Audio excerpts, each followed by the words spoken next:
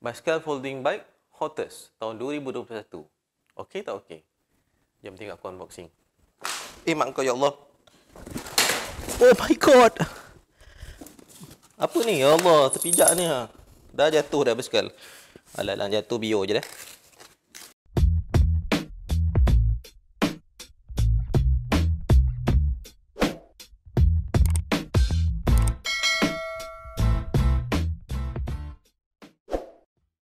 Assalamualaikum dan hai. Jumpa sekali lagi dengan aku dari YouTube dekat channel YouTube aku.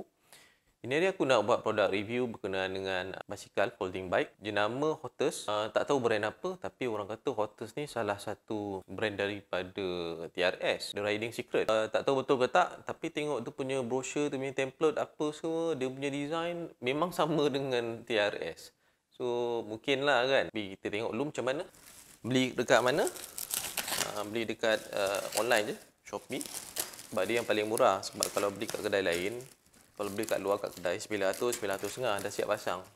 Ni aku beli online je 780 tapi kena pasang sendirilah. Kalau hantar kedai pun untuk pasang pun baru dalam RM20 dah tanya dah. So kau still saving lagi lah. Ni campur kurier 820 kalau kau pasang kat luar 840 lah. So still murah consider kalau kau beli kedai.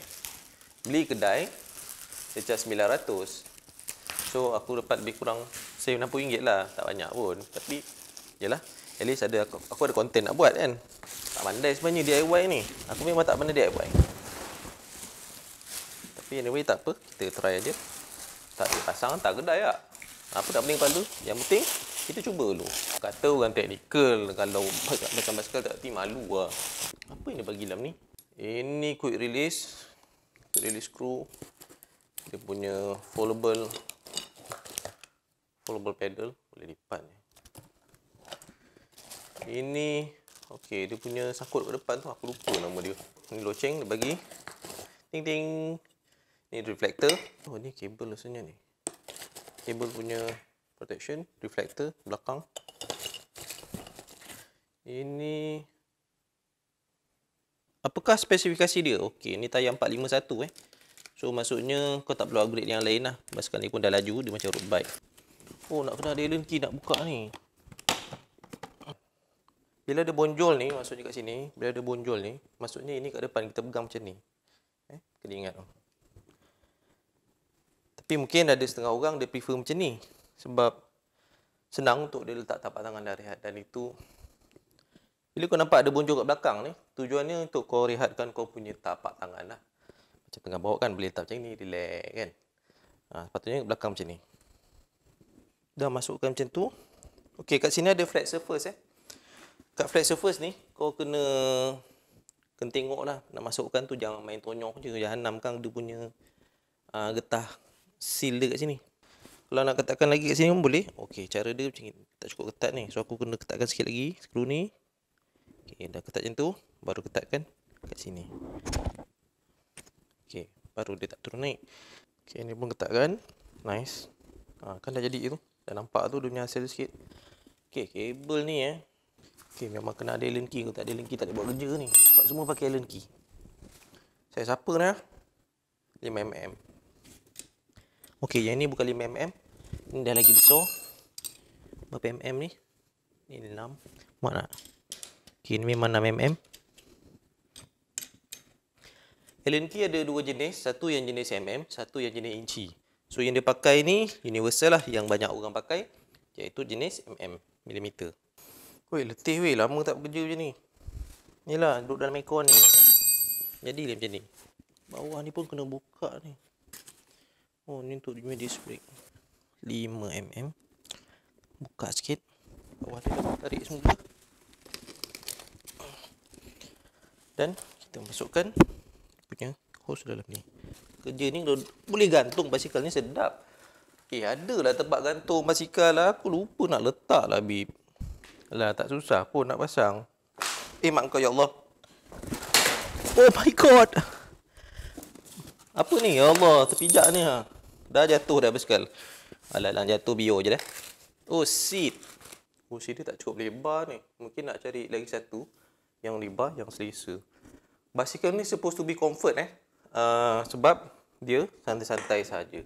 Kalau macam RB dengan MTB tu memang dia nak yang nipis dan uh, memang senang cerita yang menyebabkan telur kau hilang lah. Kebas nanti kau punya telur. So yang ini sepatutnya tak sebab dia santai-santai je. Ni kalau buat touring ni bagus juga ni best-best sekali ni. Bawa satu bag pergi jalan-jalan je kan, backpack, bawa baju, satu dua malam pergi lah hotel, jalan naik basikal. Seronok. Silap. Okey, kesilapan yang aku buat ialah patutnya kita pasang tayar dulu baru kita tegakkan dia punya handle sebab kau nak cengit juga last apa kita adjust kemudian. Kau bayangkan aku buat kerja ni tanpa aircon. Kat kedai, kat kedai pun lagi berangin lah. Ada kipas, ada apa semua ni tak ada.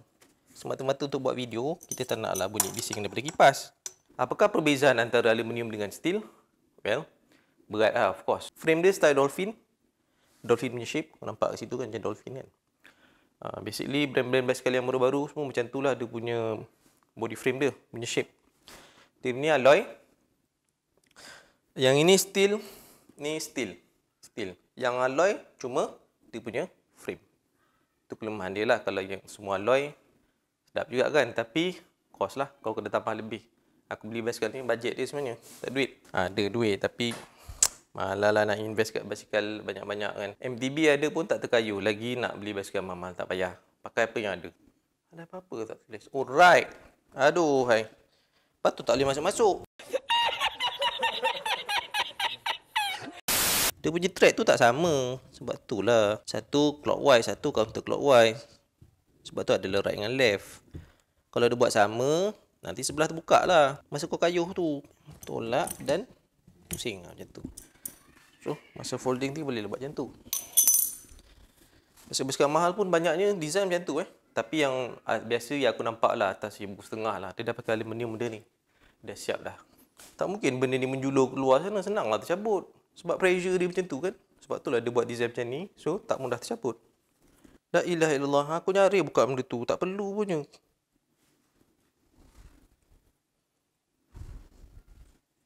Ha, terus masuk gitulah. Apalah aku ni. Ni size 6.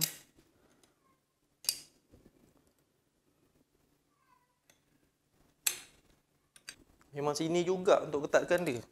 Sebab aku ingat dah ketat rupanya. Kena ketat lagi barulah steering tu handle tu tak ikut so ada dua set of allen key kat sini kau ketatkan dua-dua lah tapi jangan buat sekali ketat patut buat sekali kena buat sikit allen key satu sikit allen key dua sikit patut allen, allen key satu balik kalau tak dia rosak kau punya thread ataupun kau punya allen key eh kalau dari tadi pasang macam ni ke senang aduh pening kepala aku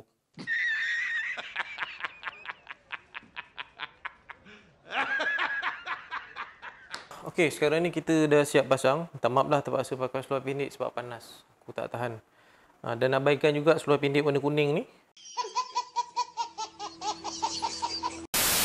Tapi tak adalah pendek mana kan. Cuma minta maaf lah. Ya? Kalau ada tak selesa ke apa ke. Macam aku cerita tadi. Ni dia punya pedal ni foldable. Maksudnya boleh lipat. Nak lipat macam ni, tekan. Nak lipat. Ha, macam tu je lah. Nak keluarkan besok, just tarik keluar je. Ha, dia automatic. Dia sama lah sebelah sini pun sama tekan lipat ha, dia dah lipat so kalau nak keluarkan balik macam tu okay settle tiga masalah yang aku jumpa nombor satu gear yang aku beli ni gear sensor tak ada masalah dengan gear sensor ni aku dah tanya review orang lain tak ada masalah pun gear sensor ni yang menjadi masalahnya bila kau bukan beli daripada kedai kau beli online so kau nak kena setting sendirilah untuk setting sendiri ni makan masa sebenarnya aku dah pernah buat sebelum ni cuma ini hari aku malas So besok je lah aku hantar kedai sebab aku ada benda lain lagi aku nak buat. Dia kejap masuk, kejap tak masuk, kejap turun. Kadang-kadang terturun dua step. Kadang-kadang ter- naik pun dia naik dua step. Macam tu lah. Tak, tak, nak kena fine tune lah. So masalah nombor dua ialah dia punya tayar. Kau tengok eh, tak smooth. Kan, patutnya dia ni ada ceramic bearing ni, tak silap aku ni. Tak silap lah kalau berdasarkan bunyi dia tu. Sepatutnya disc brake ni dia tak melekat tapi disebabkan tak berapa cantik sebenarnya dia melekat so nak kena fine tune dia punya untuk display depan lagi dahsyat ha, macam tu terus ha.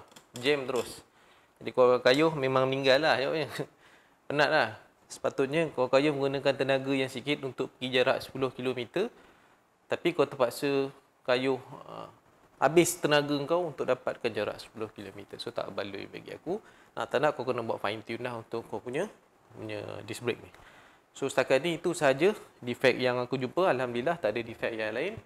Ada manja-manja sikit, cala manja-manja sikit. Satu dekat dia punya tempat holding ni. Neck punya holding, ada tempat dia lipat tu kan. Aku ada bagi ambil gambar, nanti kau tengok. Uh, nombor duanya, oh ya yeah, dekat dia punya stiker ni. Nampak ni ada putih-putih sikit ni. Sepatutnya tak ada tapi ada. Tak apa, minor. Ada cala manja lah. Oh, dekat stiker ni juga. Pun stiker juga. Stiker je lah. Tak ada benda pun nampak Hotters. Sepatutnya Hotters tu tulisan dia cantik. Tapi nampaklah berserabut sini. So bagi aku, minor issue lah. Dan aku acceptable lah kalau isu-isu macam ni. Ini masalah dengan, masalahnya daripada kilang tu sendiri yang hantar memang dah calak macam ni. So masa handling tu lah, masa dia packing handling tu lah. So, kilang kena improve lah dia punya cara packaging dia. Reflektor belakang dia punya holder lain eh, besar. Dengan reflektor depan holder dia kecil. So aku tadi nyari salah nyari salah pasang. So nasib baik aku tengok-tengok gambar dekat uh, YouTube, dekat Facebook, dekat Google dan aku dapat pastikan bahawa dia punya holder untuk lampu reflektor belakang besar. So nasib baiklah. Uh, reflektor depan warna putih biasa dan holder dia kecil sikit sebab dia pasang kat handle. Kalau nak pasang tempat lain pun tak boleh sebab dia holder ni memang size dia memang untuk handle. Okey, kalau nak pasang kat stem susah pula nanti kau nak turun naik turun naik kacau kau punya reflektor ni. So, lagi pun kalau kau pasang reflektor kau dekat uh, kau punya stem ni nanti dia jadi sengit tegak macam tu. Anyway kalau kau tak kisah tak ada masalah tapi aku tak nak lah aku tak FIFA macam tu tak lawa. Dan dia bagi uh, dia bagi loceng ni Ha, tu loceng dia lah bagi aku. Bagus lah. Kalau kering-kering-kering-kering tu, satu masalahnya dia cepat karat. Yang ini okey kot. Anyway, itu saja video aku setakat kali ni. Dan uh, kalau ada apa-apa soalan, boleh tanya aku kat bawah. Dan Alhamdulillah, aku pun berjaya pasal benda ni. Lagi tak susah lah orang teknikal kan. Senang je. Tools pun ada banyak cipah tu. Padahal. Uh, yang penting, usaha. Tak boleh pasang, bawa tak kedai. Kalau tak cuba, kau tak tahu kan. Okay? Assalamualaikum.